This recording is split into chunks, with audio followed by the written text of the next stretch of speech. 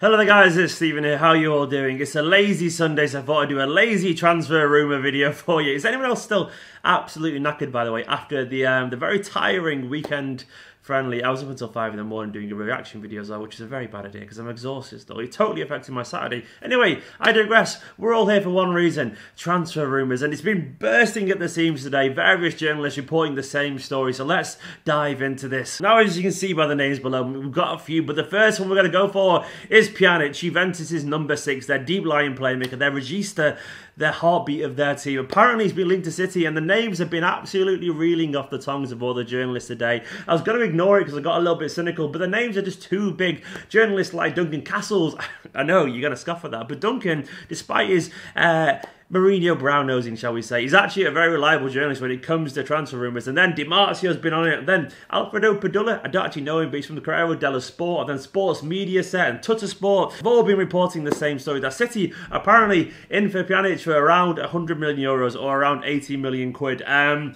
yeah, and because they're all going so strong at it, it's hard to actually ignore. Now, my initial reaction is still cynicism. I urge, I urge, urge, that's not even a word, I urge caution on this one because it strikes to me as a player angling for a new contract. Now, you've got to consider every time a journalist puts a new story out there, sometimes it isn't legit in terms of sometimes they're just doing an agent a favour to get their contract uh, boosted, get a player a new contract. The, the agent will leak a story for a journalist to post, knowing that when the time comes to it and they actually need a proper story, the agent will scratch the journalist back and give them some actual good news. So sometimes they take a hit on a story, uh, a journalist, to get news later on down the line from an agent. So you got to understand that it's kind of tit for tat. Sometimes they'll kind of scratch their back to scratch their back, even if it means leaking fake information.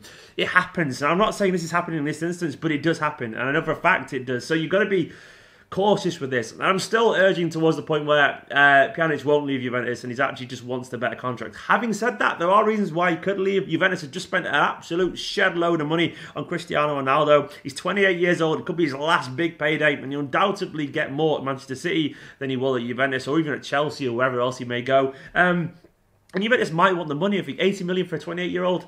That's a lot of money. It's a good money as well, given the fact that he recruits most of what they've just spent on Juventus' uh, star man now, Cristiano Ronaldo. Um, it does seem like an attractive offer, but once again, he is the heartbeat of their team. Now, I would like this to happen, don't get me wrong. I think 28 is not really prime, but it doesn't seem to be a Manchester City signing at the moment. Given the fact that we wouldn't go to, you know, we were arguing over two or three million with the Jorginho deal in terms of how it was going to be paid, in terms of length of instalments, and all the minute detail of those kind of transfers. For me, an 80 million pound transfer is going to be more complicated, especially this close to the season.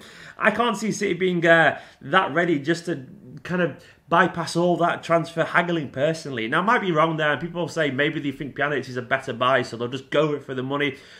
But for me, it just seems a little bit more complicated. And City aren't famously bad at complicated transfers. We're just slow and we react to it and our pride kicks in. So it doesn't seem a very Manchester City kind of transfer. It's by a record fee by some way. It just doesn't seem to add up at all for me personally, which is why I'm cynical towards it. But having said that, we do need him. And maybe we think, well, he's very good. He's absolutely top quality. He could be a perfect foil for Fernandinho. And we know his age isn't too bad given the fact that Fernandinho's 33 now. It means Pjanic has got a good three or four years at least at the very top if he follows a similar trajectory. And it doesn't seem too bad a deal when you look at it that way. But Yes, guys, what do you think of this? Uh, I'm being cautious despite all the people uh, reporting it. City is still denying it, but maybe City have learned the lesson of being so out of it with the Jorginho thing. They've been a little bit quieter this time, perhaps. Maybe it's just bullshit, though. I'm kind of 50 50 on this one. Let me know what you reckon. There's also been a little bit of news on another alleged Fernandinho kind of long term replacement. Kovacic, the Croatian midfielder at Real Madrid, apparently spoke to the new coach, Lopetegui, on Friday and told him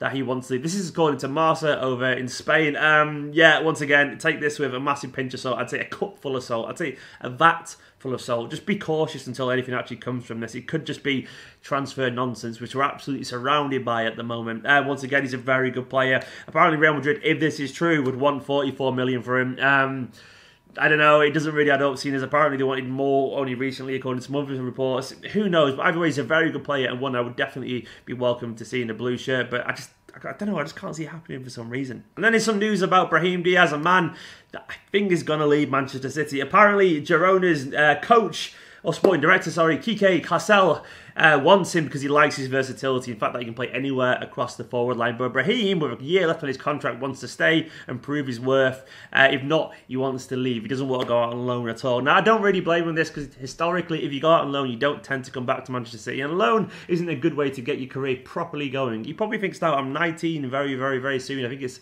in August he turns 19. I just want to start my career. I'm seeing players like Jadon Sancho and so on just play regularly for the first team for a big club, and I'm good enough to do that. That's what he's probably thinking. And I wouldn't blame him. I think he wants to be at Manchester City. I think his heart's set at being at the club. But at the same time, this trend of buyback clauses, it kind of works in both clubs' favour there. And for me, someone like Brahim should leave and City get a nice, healthy buyback, and then he can focus on his own career. No pressure there at all for Manchester City. No pressure to kind of, uh, well, no worry about his long term future, put it that way. He doesn't have to worry about 12 months ahead in a loan and his contracts and all that kind of stuff. He just gets on with it. Now, I think Brahim, unfortunately, will leave. That's just my take. I don't want him to leave, but I also want him to get his career going. I think he owes it to himself. I think City owe it to him to give him the chances that he needs, which he's not going to get. So I think, in general, the best the best solution here is just to let him go, uh, get a good fee for him, and then get that buyback clause there because you think we're going to need it one day. There's a little bit of news for Brandon Barker, the once wonder kid. He was so good around 17 to 18, but his career stalled. He didn't, in my opinion, get the opportunities under Pellegrini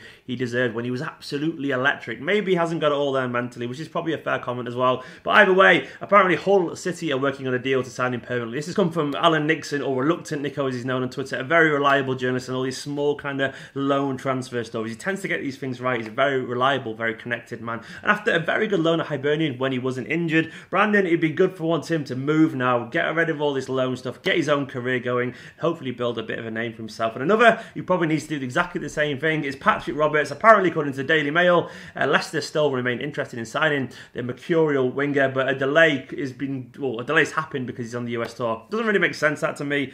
Why do he, he need to be in the UK to complete this deal? Because I mean, it's a global game. These are millionaire football clubs. Uh, they don't billion pound football clubs. Some of them. Uh, they don't need to be there, you know, to sort out a deal. There's a thing called email, so I'm sure it's not delaying it the slightest. I'm sure it's just a reason being given to the press. But either way, I think Patrick needs to leave personally once again, get his career started properly. This endless loan carousel is no good for these young players. Eventually gets to the point where it's a little bit silly. And get him to Leicester, in my personal opinion, make a little bit of money in him, and get a young English talent playing football. That's what I personally want to see anyway. Anyway, guys, that is just some thoughts there on a very tired Sunday afternoon. Um, what do you make of all these rumours? Also, this video is in 4K. Look at that, fancy, isn't it?